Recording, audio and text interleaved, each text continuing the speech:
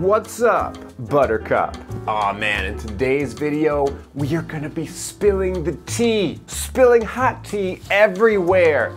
All over the place, all over the table, might spill down on your pants a little bit. A few months ago, I did an award-winning video called What I Can't Stand About Each of the 16 Personalities, a card above my head. Whoa! But that video was a lot more subjective, like what I can't stand. How, how am I personally offended and affronted by each of the 16 personalities?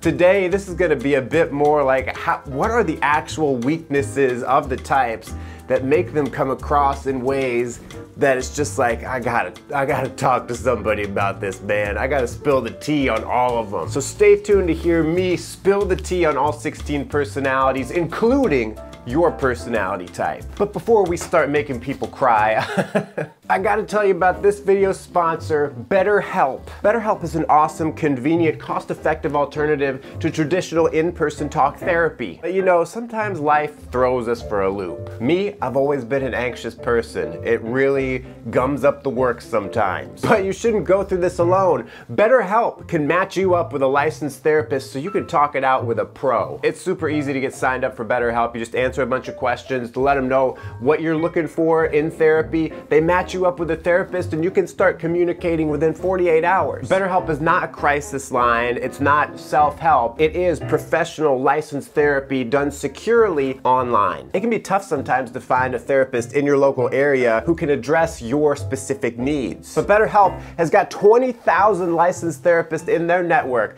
They got you covered, no matter where you are in the world. What's cool is that in your BetterHelp app, app, you can send a message to your therapist at any time. And of course, you can schedule weekly video or phone sessions with your therapist. Visit betterhelp.com slash Frank James and get 10% off your first month. That's better H-E-L-P. Over a million people use BetterHelp. Why not you? Betterhelp.com slash Frank James, 10% off your first month. Okay, let's start spilling some tea. Uh, now, of course, quick disclaimer, just because you happen to be one of these types doesn't mean you necessarily have this issue. This is just something that will crop up at scale with each of these personality types. Okay, first up, first person getting the tea spilled on them.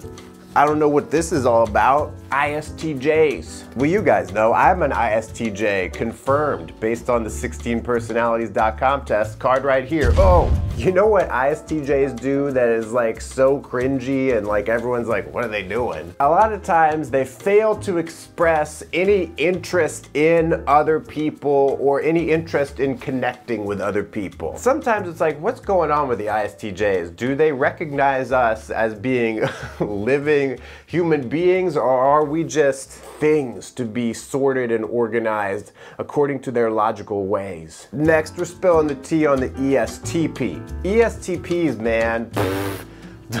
Don't get me started. Mm, have you seen how they get like so upset, like ridiculously upset when their patience is tested a little bit? Like when they're kind of stuck in a situation where there's like not a lot of mental stimulation. They'll just like freak out and be like, this is the worst thing ever. This is terrible. There's nothing to do right now. I'm so bored. I mean, everyone gets irritated when those kind of things happen, but for an ESTP, they act like it's the end of the world and like it will never get better. Moving on, let's talk some smack about ISTPs. ISTPs way overconfident sometimes. They'll just be like, yeah, I got it under control. I understand everything. I know exactly what's going on. I'm just gonna take this leap out here and do this thing, get it done my way. I know what I'm doing. And then they just crash and burn. Everyone's like, wait, stop, please. I'm not sure that you know what you're doing. And they didn't listen. Then they'll be kind of hurt. They'll be like, you guys weren't looking out for me. I can't rely on you. I've got to keep relying on myself which ironically is what got me into that mess in the first place. tea spill. Let's spill the tea on the ESTJs, shall we? ESTJs sometimes lose sight of the long term. They see the task that needs to be completed now and all the people that they need to get in line to get the task done, and they will just like obliterate all of them in order to get it done, not really thinking about, hey, in the long term, everyone's gonna hate me. They will just burn down all of these bridges and then at the end be like, well, we got, we got it done, guys, didn't we? Aren't you glad we got it done? Even though I, you know, Made you feel bad the whole time? Next up, spilling the tea on the ESFJ. ESFJ is usually very nice and friendly to people, but they have a very immovably judgmental side where they will just zone in on one person and be like, that guy is a bad guy. And you ask them to explain it and they you expect to hear like, oh, he, uh, that guy killed someone. that guy embezzled millions of dollars. That guy is a Philadelphia sports fan. Okay, Frank, you didn't need to go there. But you'll ask the ESFJ and they'll just be like, I don't know. I just don't get a good feeling bad guy right there. And it could be really tough to like talk them out of that opinion they formed for basically no reason. Now let's spill the tea on the ESFPs. Ooh, honey, those ESFPs, how do I say this? They believe weird stuff. These types can be so superstitious, like the most superstitious of all the types. And so when things happen, they're like aware of what's happening and then they'll come up with this really weird explanation of why, what's going on behind the scenes. Something a little bit out of the ordinary will happen like, I don't know, a door shuts because of a draft in the house and they'll be like, that was a ghost. Or they'll like go out and party and the next day be feeling a little bit hungover and be like, it's because Mercury's in retrograde, dude. It don't make no sense. Now let's spill the tea. I'm not, look like I'm gonna pour the drink. I'm not. Can you even see it? Because it's a green cup. Let's spill the tea on the ISFP.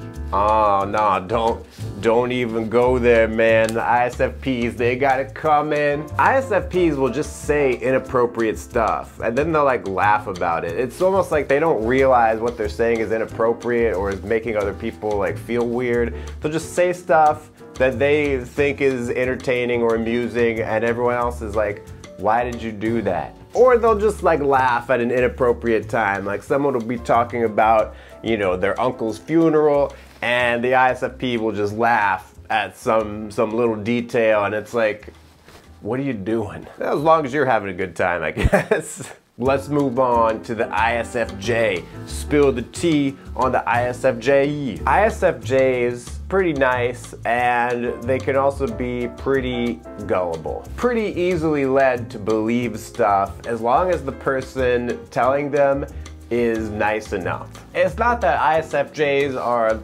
dumb, it's just that when people are nice, that's the language they speak and it's like, yeah, we're having a good time together, let's maintain this harmony, and now I've given you $80,000. Okay, maybe it's not always that extreme, but sometimes it might be. Let's take a quick break and in part two we're gonna get into all the intuitive types who have a whole other set of issues that we gotta dish on, we gotta spill the tea on, we gotta rile up some drama. See you there. Welcome to part two of this video. And if you're enjoying this video, go ahead and hit the thumbs up button. What do you get out of that? Nothing really but it helps me out and I'm all about doing stuff to help me out. Let's spill the tea on all those intuitive types, man. First up, the ENTJ. If you get around them when they've got to like use their emotions, they can just get like really weird and childish about it. Cause the ENTJs, they're used to going with the thinking all the time, expressing themselves logically. So when you ask them, hey ENTJ, how did you feel about this thing, especially if it's negative, they will just get like really mad. You'll be like, what is going on here? Or if they have to make a decision that's purely based on feeling, they will freak out. You'll be like, pick a restaurant for us all to go to, and they'll be like, well, this restaurant is logically the best one to go to because it is located here and blah, blah, blah. And you're like, just pick what you like, and they'll be like, Next up, let's spill the tea on E, uh, e, uh, uh, why can't I speak? ENFJs. Oh man, ENFJs are so embarrassing what they do. What ENFJs do is they will do this thing of like having unspoken needs that they expect you to somehow figure out and meet and then they get really disappointed when you don't do that. Because that's what they're doing a lot of the time. They're just trying to figure out what does everyone need and let me provide that. And they're like, everyone else should be playing this game with me. And then when other people don't, they're like, I am so upset with all of you right now. Actually, no, I'm not upset. I'm not mad. Just disappointed. I expected more from you people. Let's spill the tea on the ENTPs. Oh yeah, ENTPs, you thought you were gonna slip by somehow? You thought you were gonna, you know, not have any tea to be spilt? The teacup was empty and I go to pour it and not a drop comes out? Nary a drop?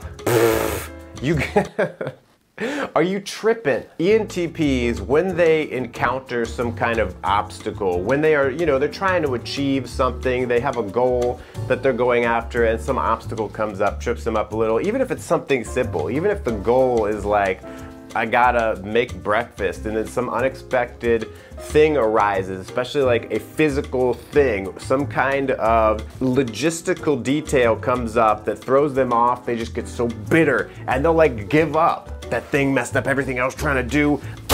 F it, I'm not even gonna do it now. Why wasn't someone else looking out for that little detail? And then they'll like just go to the next thing. That's the ENTPs, they're so good at going from one thing to the next that when they when they get tripped up like that, it's just so easy for them to go off, do something else, forget about it. Let's just abandon everything that I was trying to do before. It doesn't matter, it wasn't worth it. Next, time to spill the tea on the ENFPs. I got some tea brewed up. ENFPs will sometimes think that they are like way above whatever task that they have to do. Most usually if the task is not like fun. ENFPs will be like, man, I'm better than this. I shouldn't have to do this. It'll be in basic tasks or it could even be like in their job. They'll be like, I shouldn't have to check out these stupid customers at the grocery store. I'm too good for this. I shouldn't be having to manage these hedge funds. I'm better than this job. I shouldn't be having to fly this Boeing 747 full passengers overseas. This is stupid. I mean, it really, it really depends on just like what they like. And if they don't like something, they're like, oh man, I'm mentally checked out. Next up, let's spill the tea on the INTPs.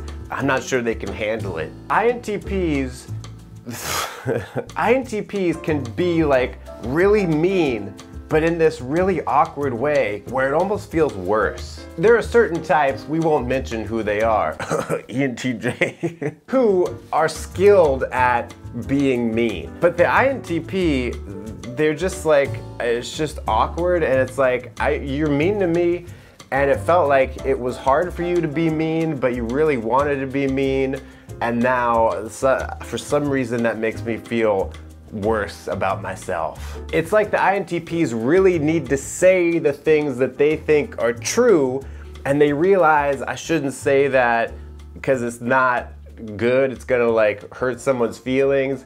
So I'm gonna get really weird about saying it because I gotta say it, man. Next, let's spill the tea on INTJs. INTJs, very smart, probably think that they're right about everything, but that's not the tea I'm spilling on them. The tea I'm spilling is that when things go wrong, they will find a way because they're so smart, because they can like project out and see all these different connections and they can see what went wrong and where. They can be like, here's how it was everyone else's fault. It's also because the INTJs, when they are trying to figure out how to make something work, they are looking outward, they are trying to get other people's opinions, they're trying to come to the best objective conclusion so when things go wrong, it's really easy for them to say, this wasn't all on me. This was really mostly on all of you. When I came up with my business plan for a company that sells underwear with pockets in it so that you can put your wallet in your underwear, you guys should have figured out and told me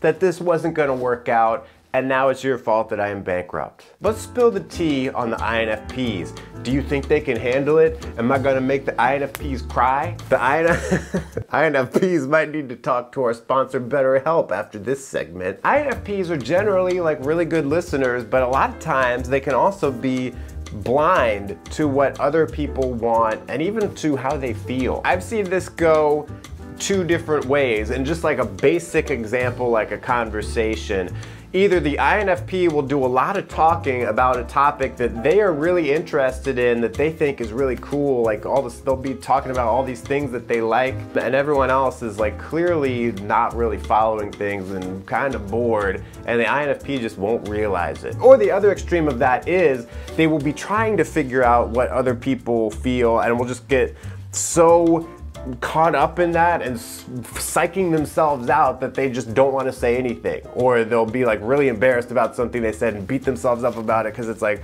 oh no, I probably really embarrassed myself or I probably really hurt that person's feelings and it's like no one cares. They're just projecting all this stuff. Okay, and last but not least, we gotta spill the tea on the INFJ. INFJs, man, this is gonna this is gonna hurt to hear. It's gonna hurt when this scalding hot tea comes raining down on you right now. INFJs will hold people to really high standards, right? which in and of itself can be annoying. And INFJs like to tell other people about like what they should do and how they should live their lives. INFJs are always trying to help other people by like giving them little lessons about how the world works and how to improve your life and whatever.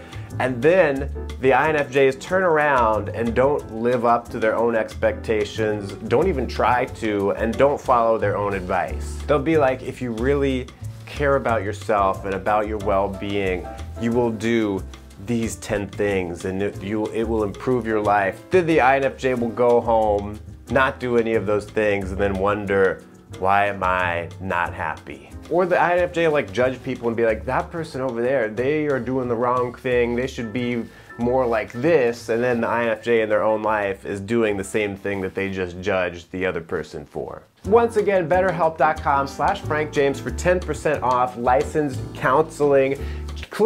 Next, now that I've done all this damage, I suggest you check out this video, which is misconceptions that I debunk about the 16 personalities, or check out the whole playlist right here and find another video to watch.